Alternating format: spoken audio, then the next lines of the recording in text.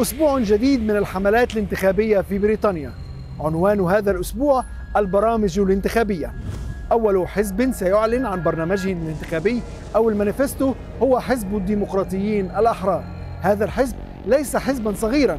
له تمثيل لا بأس به في البرلمان بل إنه كان شريكا في الحكومة الائتلافية التي شكلها ديفيد كاميرون زعيم حزب المحافظين السابق قبل 15 عاما.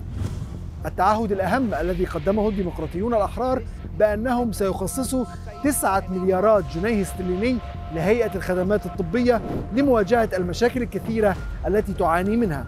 هذه الأموال سيتم تدبيرها في برنامج حزب الديمقراطيين الأحرار من خلال فرض ضرائب أكبر على البنوك والمؤسسات الاستثمارية والمالية الكبرى في بريطانيا. أما السمة الثانية لهذا الأسبوع فهي الغياب الكامل لريشي سوناك رئيس الوزراء وزعيم حزب المحافظين عن أي ظهور إعلامي.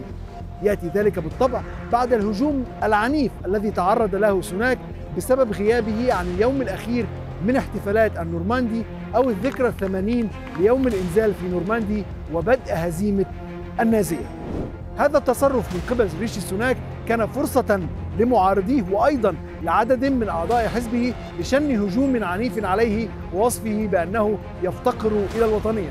وهذا التصرف بالتأكيد ستكون له تداعيات على حملة ريشي سوناك الانتخابية وقد غاب إعلاميا تجنبا لتعرضه لأي أسئلة محرجة من قبل الصحفيين خلال هذه الأيام.